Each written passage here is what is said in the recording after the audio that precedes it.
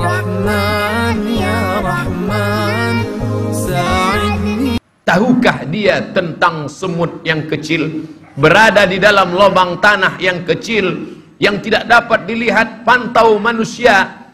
Maka dia sendiri berkata tentang dirinya ya'lamu ma baina aydihim wa ma khalfahum wa la yuhituna bi syai'im min ilmihi illa bima syaa. Bagaimana kekuasaannya? Wasi'a kursiyuhus samawati wal ardh Beratkah dia mengatur alam semesta ini? Susahkah dia mengendalikan makhluk beserta isi dunia ini? Maka dia katakan, "Wala ya'uduhu hifzuhuma wa huwal 'azim." Itulah mengapa ketika ayat kursi ini dibaca ketika selesai subuh, kita akan dipelihara sampai zuhur. Dibaca selesai zuhur akan dijaga sampai asar. Dibaca asar akan dijaga sampai maghrib. Dibaca maghrib akan terpelihara sampai isya. Dibaca selesai isya dan tidur akan terpelihara sampai besok pagi mata terbuka. Dalam keadaan mengucapkan alhamdulillahillazi ahyana ba'dama amatana wa ilaihin nusur karena di dalamnya ada tauhid yang kuat di dalamnya ada penekanan yang sangat dalam di dalamnya hati yang takut menjadi berani. Di dalamnya ada kecemasan menjadi hilang. Manusia punya hati. Hati itu sifatnya lemah. Dan pemilik hati itu yang maha kuat. Serahkanlah hati kepada Allah. Ada orang yang menguatkan hati dengan lagu. Ada orang yang menguatkan hati dengan harta. Harta materi. Sedangkan hati immateri. Maka materi tidak bisa mengenyangkan yang immateri harta adalah zahir sedangkan hati adalah batin. Maka yang zahir tidak bisa mengenyangkan batin. Yang bisa mengenyangkan batin maka batin dialah juga. Yang bisa mengenyangkan yang gaib hanya yang gaib juga. Maka tidak ada lain yang bisa menenangkan hati kecuali mendekatkan diri kepada Allah Subhanahu wa taala.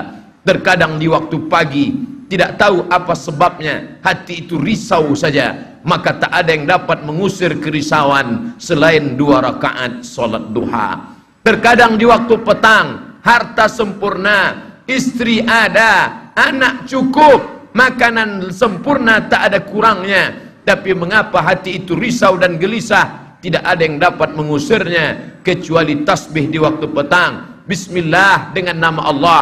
Alladzi la yadurru ma'asmihi syai'un. Tidak ada satupun yang dapat menimbulkan mudarat Fil ardi di muka bumi Wala fis sama maupun di atas langit. Dia ada dalam diri kita Tapi dia bukan punya kita. Dia ada dalam tubuh kita Tapi pemilik tubuh ini pun bukan kita. Dialah segala kuasa ada dalam genggamannya. Lillahi ma fis samawati wa ma fil ard Allah segala yang di langit, segala yang di bumi adalah milik dia. Orang yang berkata aku dan saya, dia merasa dirinya punya dia, maka sesungguhnya dia sudah lupa dan lalai. Sungguh dia manusia yang hina karena pemilik kuasa adalah Allah Subhanahu wa taala. Oleh sebab itu hati ini bukan punya kita.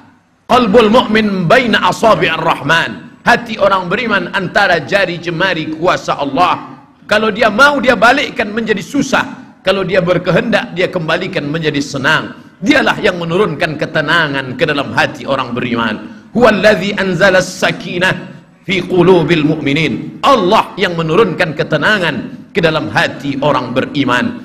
Oleh sebab itu dia katakan, "Ala bidzikrillah, ketahuilah dengan banyak berzikir mengingat Allah, tatmainnul qulub, maka hati menjadi tenang." Orang tidak bisa putus dari perusahaan air minum. Orang tidak bisa putus dari perusahaan listrik terang benderang. Tapi ada orang yang mampu memutuskan hubungannya dengan Allah subhanahu wa ta'ala. Jangan pernah putuskan hubungan dengan Allah.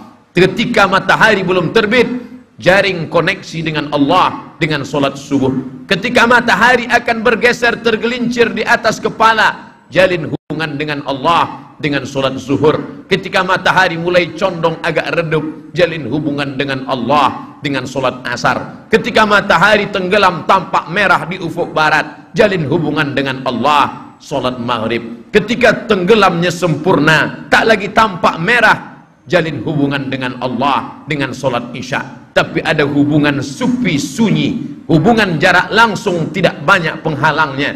Bangun di tengah malam. Wa minal laili dari sebagian malam. Fatahajjat lawan kantukmu fatahajjat lawan malasmu nafilatallak sebagai amal tambahan bagimu. Asa ayyab'atsaka rabbuka maqaman mahmuda. Kalau itu kau lakukan maka kau akan ditempatkannya di tempat yang terpuji. قلبي Quran, واسقي